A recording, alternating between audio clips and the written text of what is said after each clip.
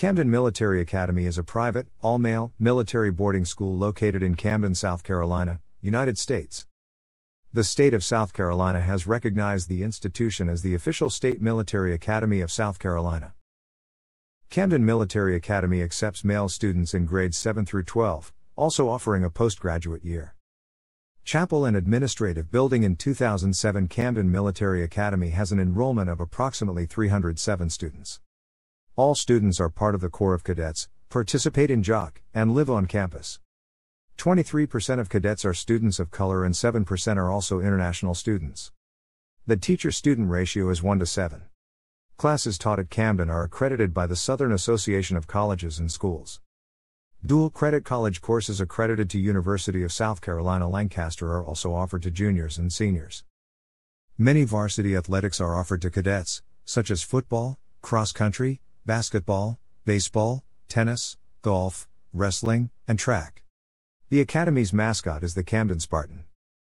Other extracurricular activities that are popular are Boy Scouts of America, Civil Air Patrol, and the Blackjacks drill team. Certain cadets are also selected to take part in junior leadership, a group of student leaders selected by teachers in each Kershaw County High School. Colonel James F. Risher, President of Carlisle Military School and Camden Military Academy. Camden Military Academy traces back its tradition from three institutions Carlisle Military School, Camden Academy, and the present day Camden Military Academy. The current campus was also formerly occupied by the Southern Aviation School. Carlisle Military School was founded in 1892 in the city of Bamberg, South Carolina as the Carlisle Fitting School of Wofford College. In 1932, Colonel James F. Risher took over the school and continued to run it as an all male military boarding school. In 1958, his son Colonel William Risher became headmaster at Carlisle. The school operated until 1977, closing not too long after James F. Risher's death in 1973. Cadets conduct a parade in 2018. The Southern Aviation School was founded in 1940 by Woodward Field to train pilots during World War II. The Academy built many classrooms and barracks to house American and British pilots. Over 6,000 pilots graduated from the Academy. After the Academy closed in 1944, German prisoners of war were briefly kept in the barracks.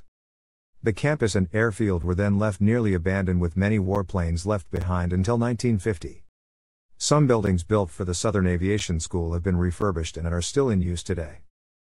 Camden Academy was founded in 1950 by the citizens of Camden as an all male military boarding school built on the former campus of the Southern Aviation School. The school lasted until 1957.